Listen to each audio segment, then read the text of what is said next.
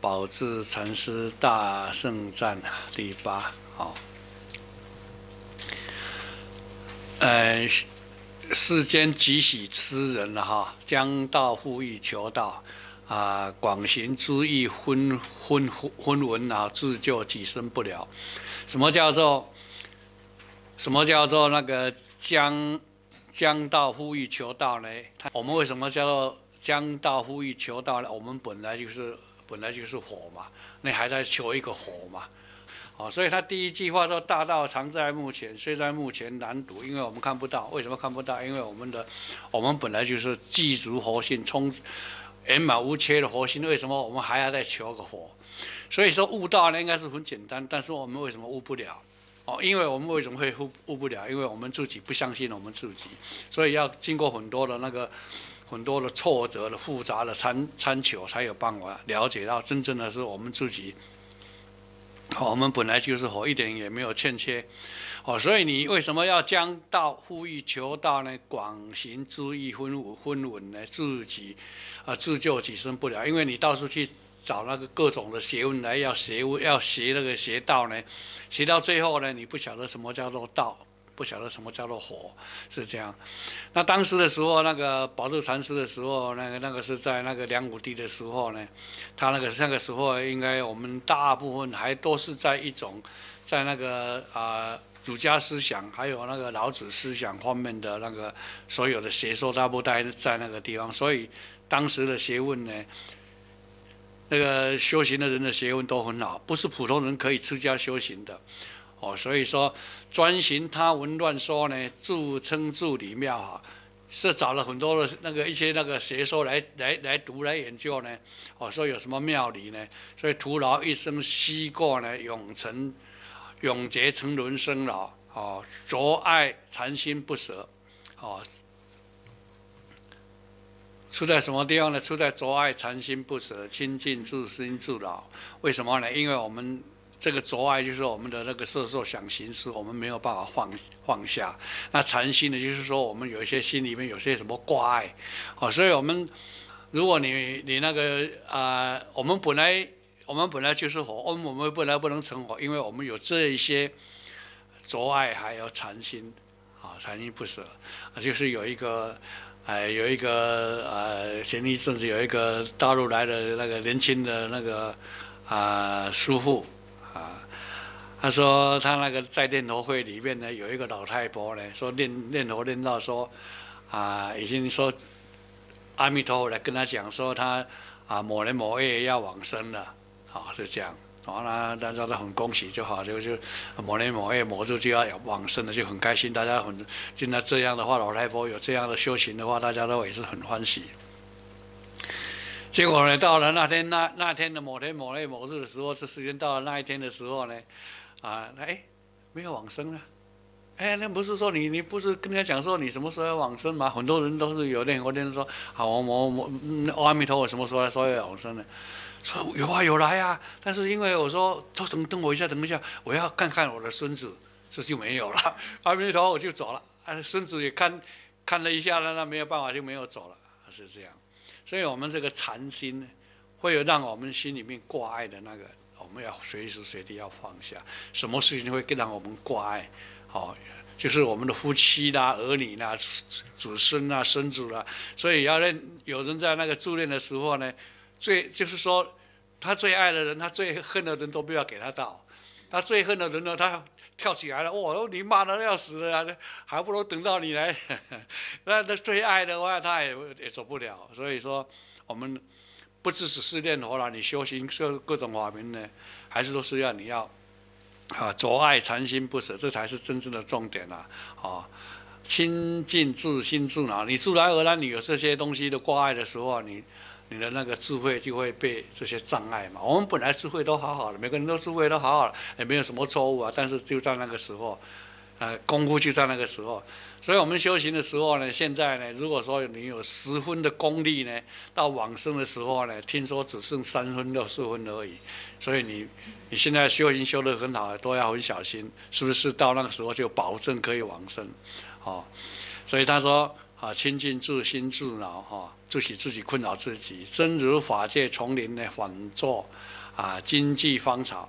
好，真如法界丛林呢，仿作经济荒草，就是我们要修行去修。我们现在目前我们现在看到能吃能喝的能用的那个，就是我们的清净觉心的显现出来的嘛。那你这个不要的话，又去找了一些哇，很多奇奇怪怪的，还要。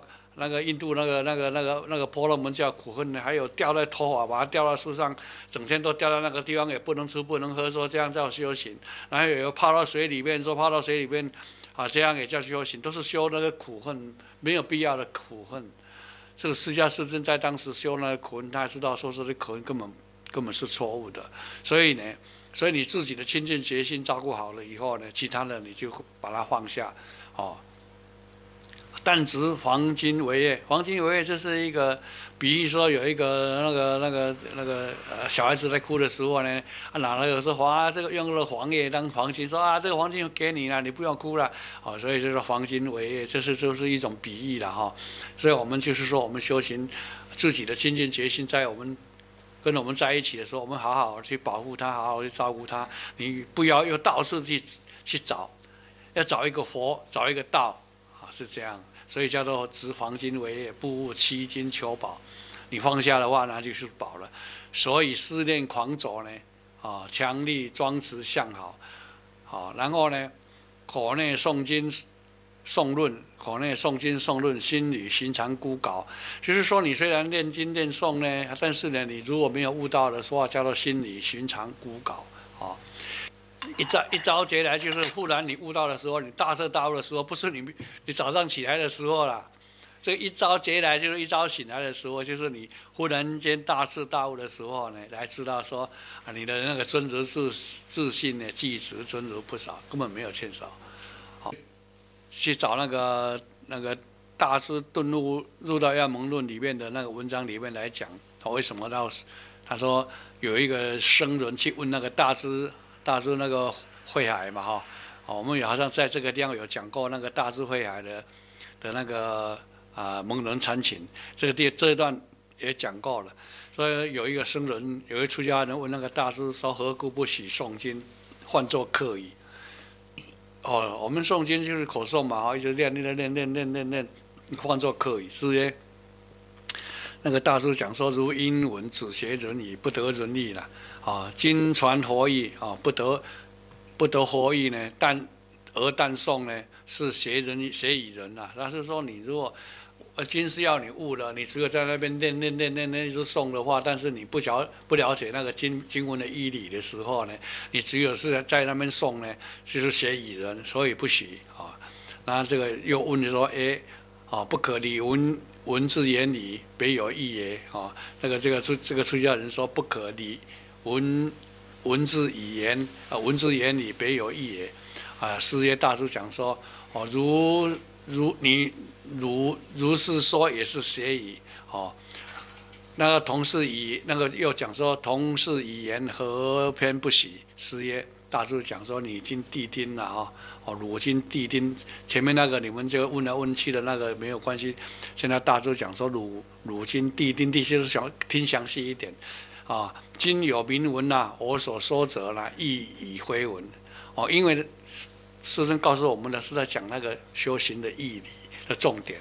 哦，众生说者呢，哦，文以非义，就是一般人在那念的时候啊，变成只在文字上，啊，着呃着求这个那个那个，执着在文文字上，所以文以非义，得义者呢。业以福言。如果你得到那个义理，真正的悟道的时候呢，超过了这些语言文字呢，物理者超于文字，法过语言文字，何向数据中求？你如果没有悟道的时候，为什么这样向那个数据中求呢？求来求去还是文字嘛，哈哦，是以发菩提者呢，发菩提心就是你悟道的时候呢，得意而忘言，得意而忘言，没有什么，你的清净的觉性，一句一句话都讲不出来。为什么一一一为什么我们的清净觉性为什么一句话都讲不出来呢？好，如果 所有语言文字都是我们的意识心所形成出来的嘛，哈，好，所以这个东西，如果你们真正的大彻大悟的时候呢，你们就知道为什么啊得意而忘言，为什么不没有这个大我们的清净决心里边一个文字都没有，哦，物理而一教呢，呃，有得鱼而忘前，得鱼忘前就是你抓到鱼的时候你，忘了就把那个抓鱼的那个那那个那个那个那个一个鱼抓鱼的桶子放掉，就是说我们以前有抓鱼的那种。哦，那种那个那个那个抓鱼的东西，哦，得兔而忘地，忘地就是我们抓那个兔子的的那个网，哦，说得都得兔而忘地，就是说你修行你悟到了以后，你要把这些文章呢全部放下，因为你清净觉性里边这些文章只是要告诉你说你有清净觉性而已。